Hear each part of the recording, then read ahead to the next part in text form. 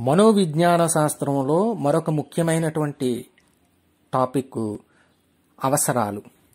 Abraham Maslow అనేటటువంటి మనోవిజ్ఞాన శాస్త్రవేత్త అవసరాలను ఒక క్రమ పద్ధతిలో పెట్టి ఒక శ్రేణీ సిద్ధాంతాన్ని రూపొందించాడు. దీనినే అబ్రహాం మాస్లో అవసరాల క్రమానుగత శ్రేణీ సిద్ధాంతము అని అంటాము. మానవులు ఒక రకమైన అవసరాలు తీరిన తర్వాత దానికంటే ఉన్నతంగా ఉండేటటువంటి అవసరాలను కోరుకుంటూ ఉంటారు. అందుకనే ఈ అవసరాల క్రమానుగత శ్రేణీ సిద్ధాంతంలో ఒక పిరమిడ్ను ఏర్పాటు చేసి ఆ పిరమిడ్లో క్రింది స్థాయి అవసరాల నుండి పై స్థాయి అవసరాల వరకు చెప్పడం జరిగినది. క్రింది స్థాయి అవసరాలలో మొట్టమొదటిది శారీరక మరియు మానసిక అవసరాలు. వ్యక్తులు శారీరక అవసరాలు మానసిక అవసరాలను తీర్చుకున్న తర్వాతే పై స్థాయి అవసరాలను కోరుకుంటారు. శారీరక మరియు మానసిక అవసరాలంటే ఆహారం కానీ నీరు కానీ నిద్ర కానీ నివాసం కానీ సెక్స్ కానీ మాతృ ఉత్సుకత కానీ ఇలాంటి మొదలైన అవసరాలను ముందు కోరుకుంటారు. శారీరకంగా మానసికంగా తృప్తిగా ఉన్నప్పుడు రక్షణ అవసరాలను పై స్థాయిలో కోరుకుంటారు. రక్షణ అవసరాలంటే వ్యక్తిగత రక్షణ కావాలని కోరుకుంటారు. అలాగే ఉద్వేగాల నుండి రక్షణ కావాలని కోరుకుంటారు.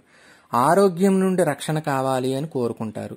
ఆర్థిక రక్షణ డబ్బుకు సంబంధించిన రక్షణ కావాలని కోరుకుంటారు. ఇవి రక్షణ అవసరాలు రక్షణ అవసరాలు తీరిన తర్వాత దాని పైన అవసరాలు ప్రేమ అవసరాలను కోరుకుంటారు.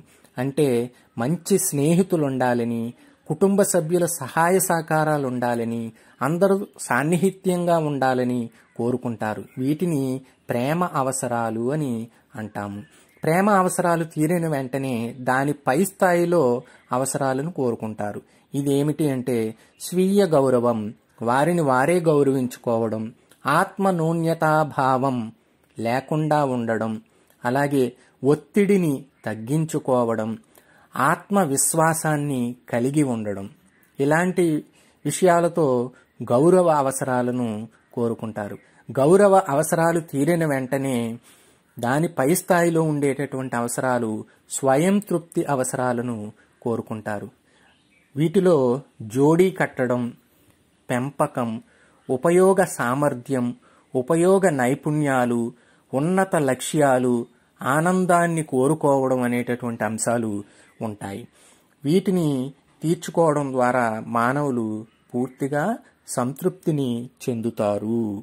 టెట్ మరియు డిఎస్సిలలో ఒక్కొక్క అవసరంలో ఉన్నటువంటి అంశాలపైన కానీ లేకపోతే అవసరాల క్రమానుగత శ్రేణి సిద్ధాంతం పిరమిడ్లో ఈ అవసరాల తర్వాత వచ్చేటటువంటి అవసరాలు ఏవని కానీ లేకపోతే ప్రేమ అవసరాలు ఎన్నో స్థాయిలో ఉంటాయని కానీ ఇలా అడగడం జరుగుతుంది.